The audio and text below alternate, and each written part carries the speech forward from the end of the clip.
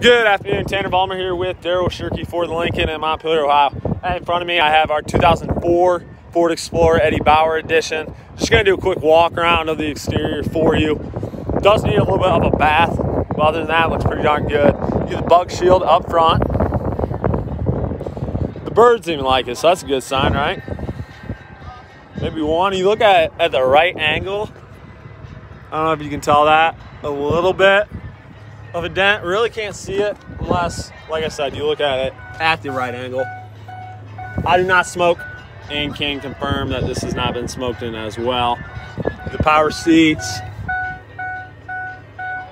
keys already in it, so my apologies for the ding.